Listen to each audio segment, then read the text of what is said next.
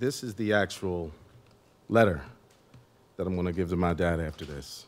I haven't seen my father in seven years, but his presence is in my life every single day.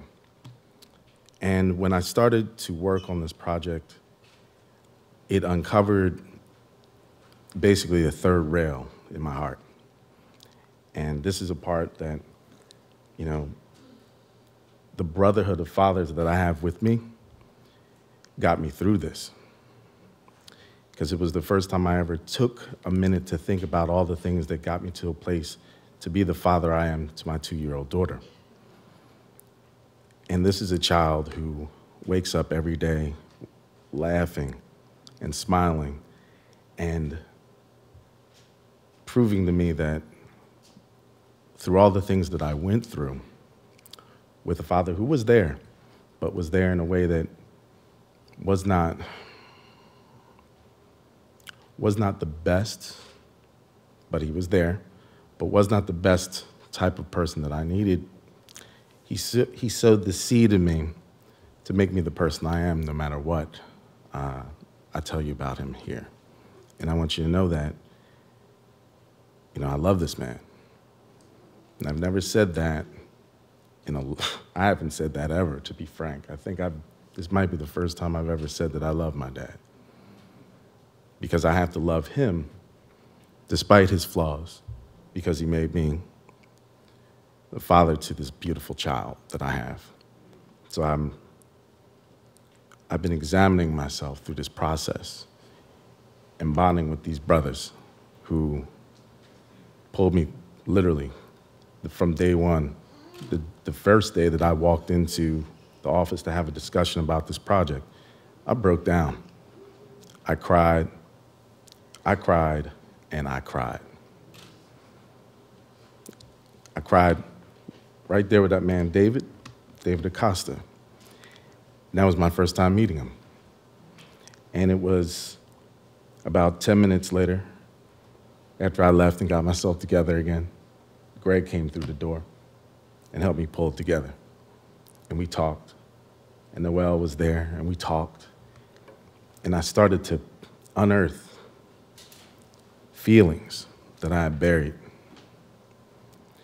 and it was feelings for my father that I didn't take the time to put into any level of context in my life prior to this moment, prior, prior to this project, which at first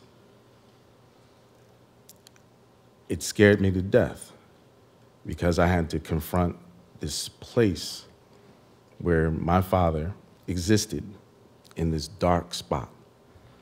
So, to give you an idea about the man that I'm about to tell you about, he was a West Philly guy, youngest of six, and he met my mom, who was from Devon, PA.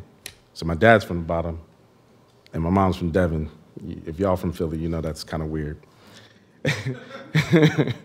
so they met in Atlantic City, and they fell in love and decided to elope and my father, not really having much uh, skill, decided to join the army, and they shipped him off to Germany. And we lived there for a while.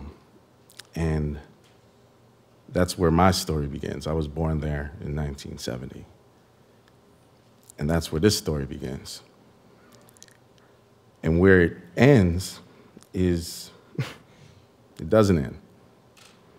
And that's why I call it Stone's Throw because I'm still in midair. I'm still trying to figure things out. I don't know where I'm actually going to land. You know, but I know what I am. I know I'm a father, and I know I was a good son. And one of the most important things that I've kind of come out of this project with is forgiveness. Because I, as you'll hear, had had to, had to struggle with being able to forgive. And that is the one thing that I believe is going to help me grow as a father. Because there will be times where I'll probably tap into some part of, the, of Ray Jackson in me. And I'm going to have to figure out a way to forgive myself for doing that. So I'm going to read this to you now. Stone's Throw.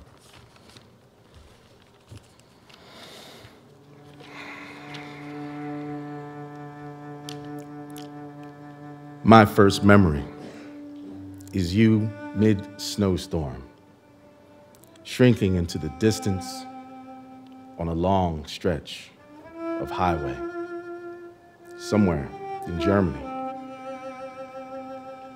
It is a silent memory. And my mother's subtle geometry is broken. Arms flailing as if she is drowning. A decade later, I'm training for a race. A race without consequence or meaning until I am much older. You are a coach. You are dad. You are the voice of my every narrated thought.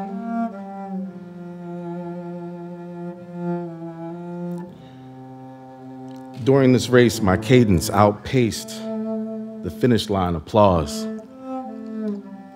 It's my final competition.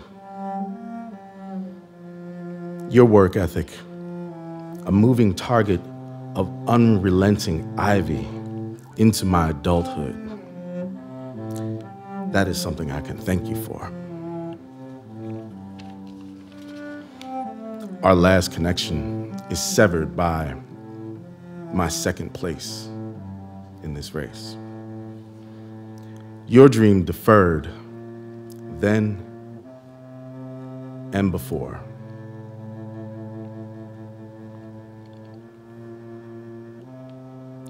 One late night, you stood over top of me, an eight year old me. I wish you were dead.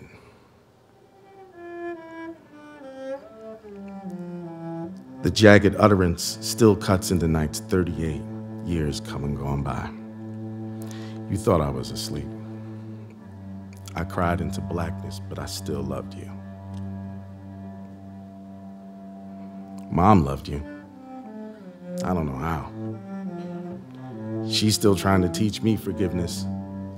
Arms flailing as if she were drowning. This quiet contemplation is like a tornado tearing through my town, and I close my eyes tight.